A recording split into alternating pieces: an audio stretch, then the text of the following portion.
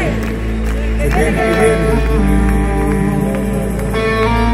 Ahora vais a saber lo que cantamos.